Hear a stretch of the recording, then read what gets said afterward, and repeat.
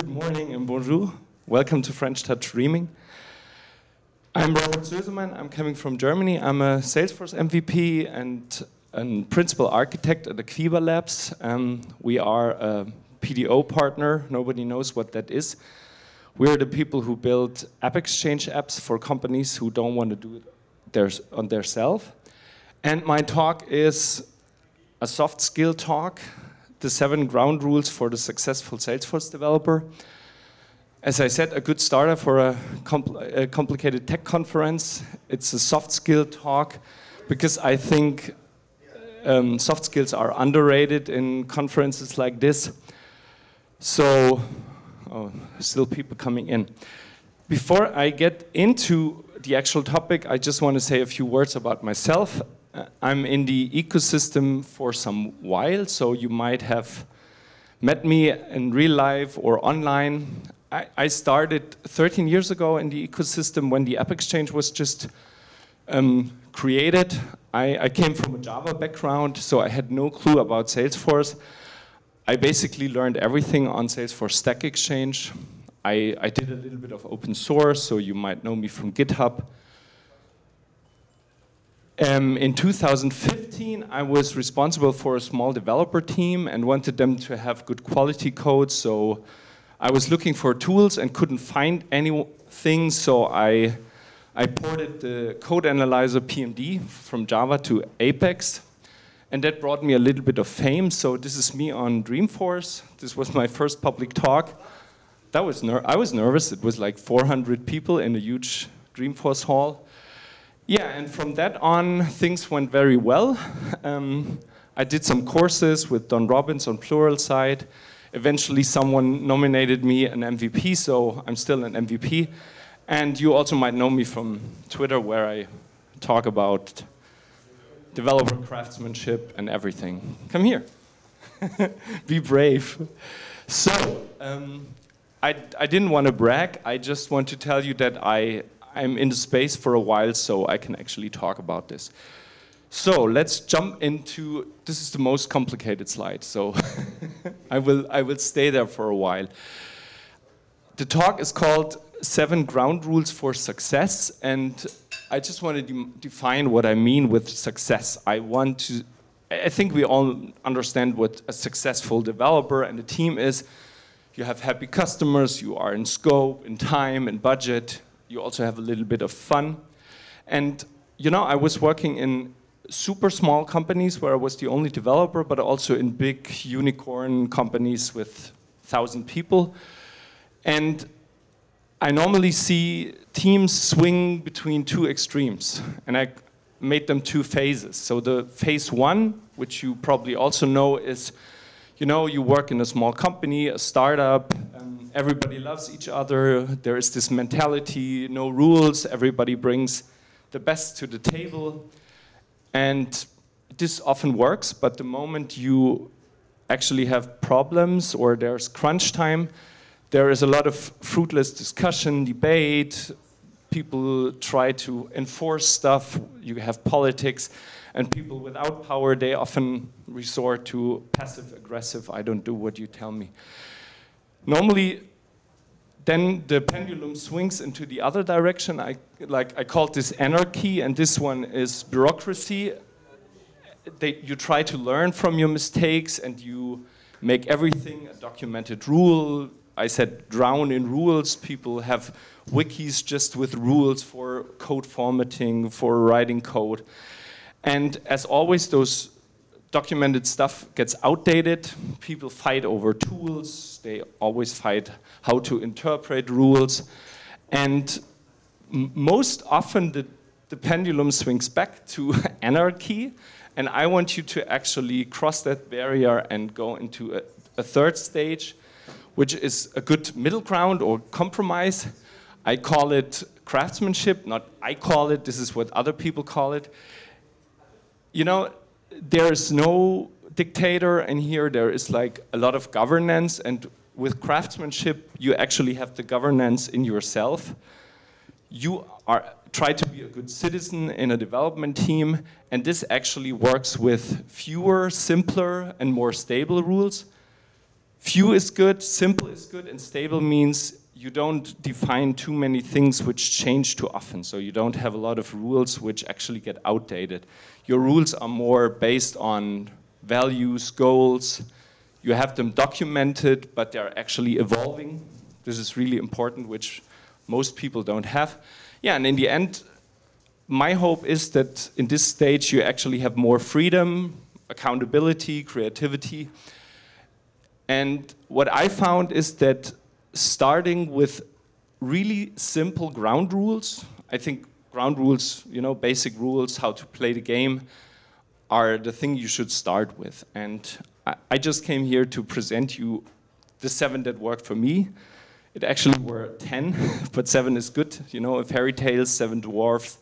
So, rule number one, and all the rules start like an oath. As a Salesforce developer, I will. I will constantly learn about Salesforce and beyond.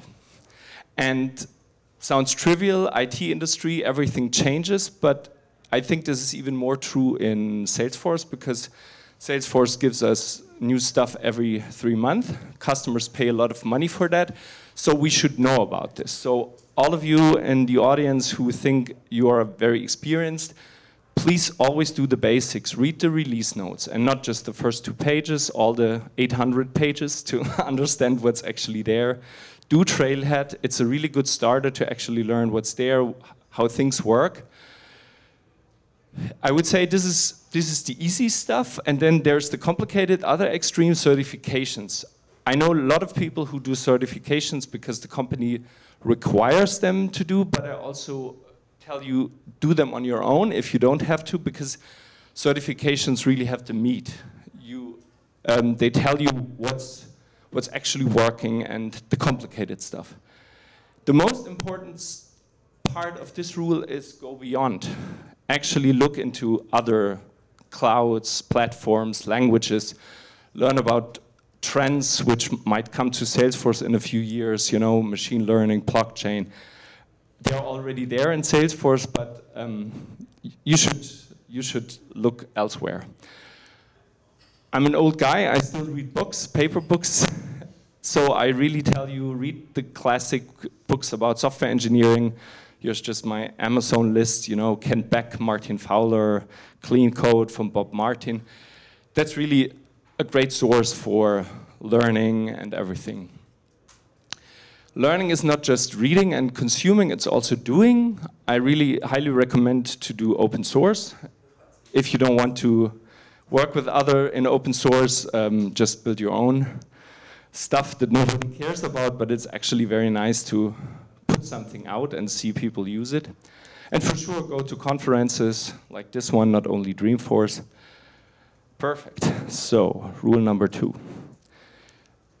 This is what I, what I tell people every day in my job. Um, as a Salesforce developer, I will leverage the native power of the platform. I want you to write as little code as possible, even if you're a software engineer, study computer science. This is not the right platform to um, do custom coding for everything. Americans say you need to stand on the shoulder of giants, which means you don't go the full ladder to the sky. So you embrace what's there, and in Salesforce there's low code, no code. And especially those developers who come from a computer science background, they, they don't use that. They think it's toy tools. I, I'm guilty myself, but I really see that flow and orchestrator, this is so powerful we need less Apex. So, you know, I'm, I'm also talking about things like flexi pages, about base components, standard reporting. You don't need to do Tableau the very first minute something doesn't work. When you don't find a standard feature, don't build it yourself. Look out, there's proven open source. There's no reason to build a trigger framework anymore. Absolutely not. So please don't do it. It just shows that you actually don't use the internet to find stuff. I'm not telling you not to invent stuff, but please look out for something which is new. So um, yeah, I'm just showing you, like this is a life-changing open source framework, the Financial Force Apex Commons. Um, I, I basically used it from day one in my career. Next rule. As a Salesforce developer, I will ask for help when stuck for too long. That's important because developers are not very social. They try to go into a cave and, and fumble around until they found a solution. But I think um, more successful people, they uh, show themselves vulnerable and actually ask other people earlier. And the complicated part is asking, learning how to ask good questions.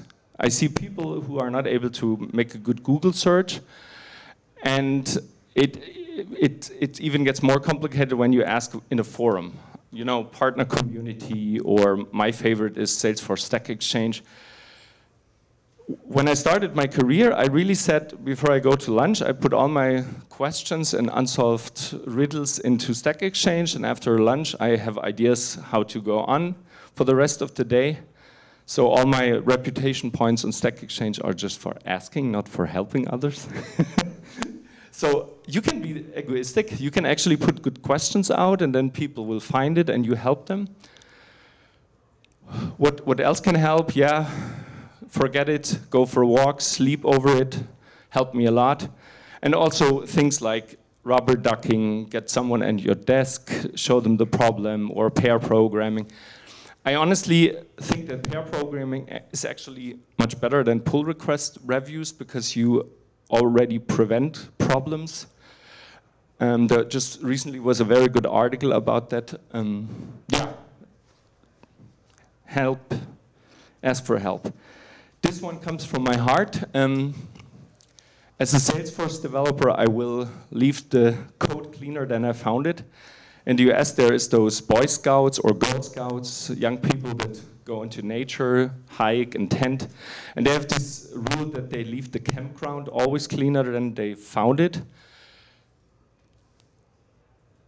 When you do that to your code, things dramatically change. Normally it's like, okay, this is your code, I will not touch it. And so people just put a mess on, on the old mess and when you when you change when you introduce that rule, you get something which we call collective code ownership, and this means when you go into code, you make a, a small change, a small improvement, rename something, pull a method out. Here's a nice picture of splitting a large class into small modules, which is like a more courageous refactoring. I really want you to see refactoring as part of your normal development. Don't ask your manager, don't plan refactoring in into extra sprints, just, just do it. Like washing hands when you are a, do a surgery. You, you know, you don't ask for permission to do that. Refactoring is, is doing, being a good developer. Okay. This one is closely connected for doing refactorings, you need to be very brave. Um, and the goal should be that you still sleep well after you did a big refactoring. And this only works when you have, I say, a, a safety net of tests, but I call it, you need to grow a safety nest of awesome tests. And those words are important. Grow because um, it's not just there. You actually need to invest. It's not something which you can just make up it needs time, and those tests need to be awesome. So this means they need not only be have the line coverage which Salesforce expects, you know they actually need to be readable, concise, stable. That's, that's really important. I see many people constantly change their tests, and this is, I mean, when you change tests, you actually need tests for tests. So tests should not change. There is some I'm, by the way, I'm talking about Apex tests. You know, I think Apex tests are the best. You, because you can fully own them as a developer. You can run them immediately. You don't need your QA people. So I really want you to um, don't make those alibi tests, put all the acceptance criteria of user stories into tests. When you have a bug, actually write a regression test before you fix the bug to see that you actually fixed it in the end and really spend time on it. Um, so I, I was responsible for a code base with a lot of messy tests with huge setup blocks, and I I built a small library called the Apex Domain Builder, which makes tests like more readable than test factories. So when you when you go on the slide deck, you you can find a link there. So this is how I put a lot of love into the tests that I wrote in the last 10 years, and I want you to do the same. Numbers, number six is, as a Salesforce developer, I will automatically monitor and review constantly. This is a complicated sentence, but I tried to squeeze in a lot. This is not about testing if the code does the right thing, it's more about that you are actually coding the right way. So I want you to, as an engineer and not your, I don't know, your QA department, to constantly measure everything you do and then automate it. Use tools like PMD. Do not only use them during CD, CI, use them in your VS code. Have a, a rule set in your repository.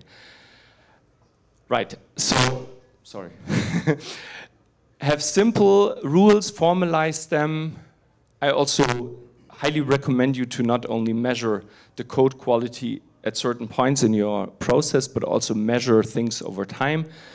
There is a company from Portugal which built a tool called Codacy, which runs PMD, ESLint, and they show you those nice graphs, how your code actually improves over time. And one last point is for all those ISVs that build app exchange apps, you also need to monitor the quality in your customer org. So look what errors happen there. Yeah, that's number six. Number seven is what developers mostly forget, never forget non-functional aspects. Complicated word, but it's all the stuff the customer didn't ask for, but which makes the customer unhappy.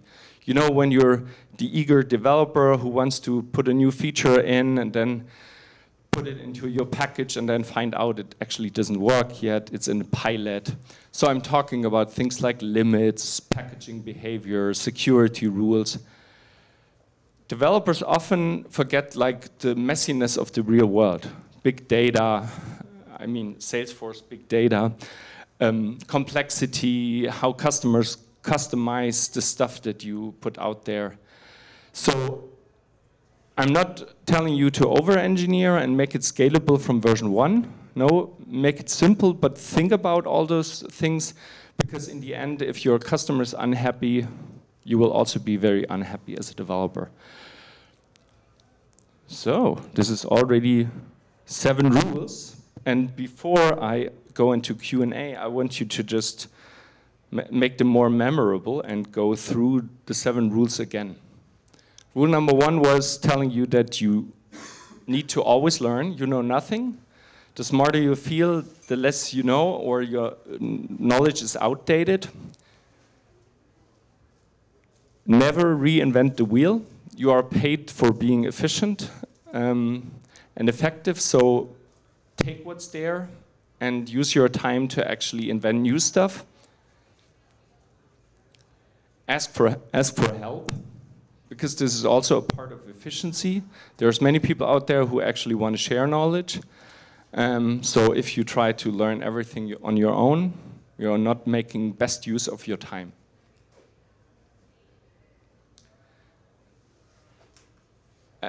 There is this, I don't know if it's an, also exists in English, like artists need creative chaos. I think engineers should not. Engineers should fight chaos. They should like order and cleanliness and everything in its place. So um, this is really important because chaos gets more when you don't do anything. So take care about cleanliness. And yes, we learned that um, cleaning needs courage, and courage is needed because you can break stuff, so minimize risk. You should be really a risk averse person. You should think about what can happen, what can go wrong. So, this rule was about always there in the Agile Manifesto, there is this saying of inspect and adapt, which means you can only improve what you know, and to know it, you actually need to inspect numbers and then adapt it. And this is what I also want you to do. So and own it as a developer. Don't let other people create dashboards for you and measure how good you are. You all need to do that on your own. You need to have those numbers and automate everything. Only things that you can automate are actually, you will, otherwise you will not do them. And the last one is don't be a nerd, right? So um, we, we are paid for this, this is serious business. We're not doctors, nobody's dying, but we can make people suffer when we don't do a good job. Perfect. I want to thank you for your patience. Um, this is this QR code brings you to the slide deck, so you can um, find some links in there.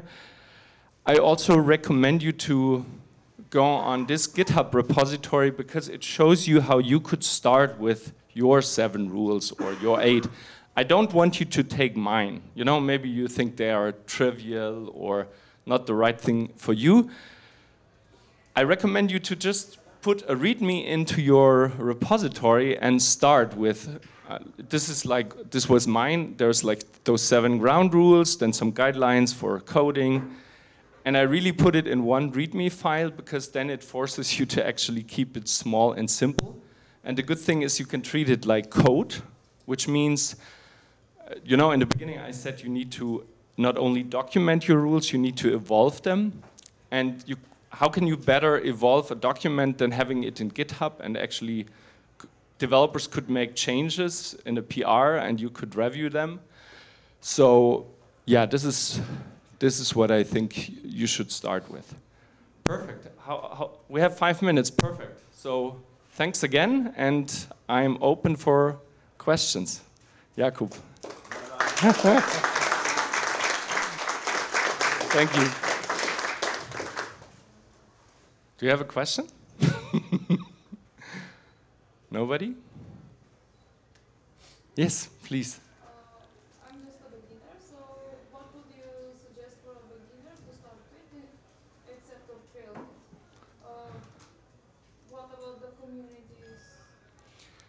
Um, for learning or for knowing what's there? I did this presentation already a, a, a, few weeks ago, and I was asked the same question, and I said something like, "Go on Twitter." this is this is uh, there's there's. I just use Twitter for Salesforce, not for anything else. And I think this is the best way to find out what's going on. You know, what's, what's going on in the ecosystem, but also what, what, what's new in Salesforce. Because Salesforce, as a company, but also the whole, you know, MVPs and all those people, they tweet a lot about what's, what's going on. Um, so this is, this is like your TV station to tune in for Salesforce. For learning, as I said, Trailhead, certifications.